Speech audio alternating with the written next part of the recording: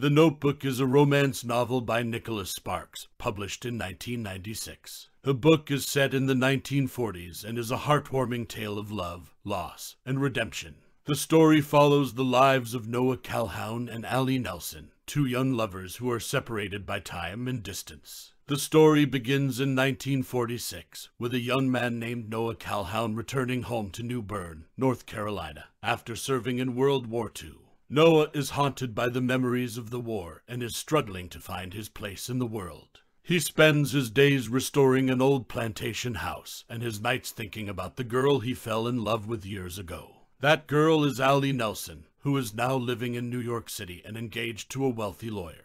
Allie and Noah had met one summer when they were teenagers and fell deeply in love. But their relationship was cut short when Allie's parents forced her to leave town and go to college. One day, while out shopping for her wedding dress, Allie sees a newspaper clipping about Noah and the restoration of the old plantation house. She decides to take a trip down to New Bern to see him, just to catch up and say hello. When Allie and Noah see each other again, the old sparks are reignited. They spend the day talking and reminiscing about old times, and soon they find themselves falling in love all over again. However, Allie is engaged to be married, and her fiance is waiting for her back in New York. She is torn between her feelings for Noah and her commitment to her fiance, and she must decide what is most important to her. As Allie struggles with her decision, Noah continues to court her, writing her letters and sending her gifts. He is determined to win her heart back and make her see that they belong together. Eventually, Allie decides to break off her engagement and stay in New Bern with Noah.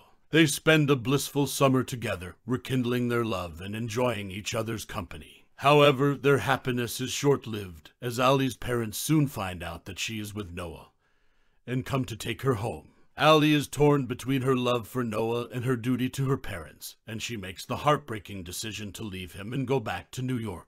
Years go by, and both Allie and Noah move on with their lives. Allie gets married and has children, while Noah remains in New Bern and never marries. But despite their separate lives, they never forget each other. One day, Allie sees a news report about Noah's house being destroyed in a storm. She realizes how much she still cares for him and decides to go back to New Bern to see him. When Allie and Noah see each other again, they realize that their love for each other has never died. They spend a few precious days together, reliving old memories and making new ones. But Allie's husband soon finds out about her trip and comes to take her back to New York. Before she leaves, Allie gives Noah a notebook that she has been writing in for years, chronicling their love story. Years later, after Allie has passed away, Noah reads the notebook and remembers the love that he and Allie shared. He realizes that their love was truly special and that it will never die. In the end, the notebook is a heartwarming story about the power of love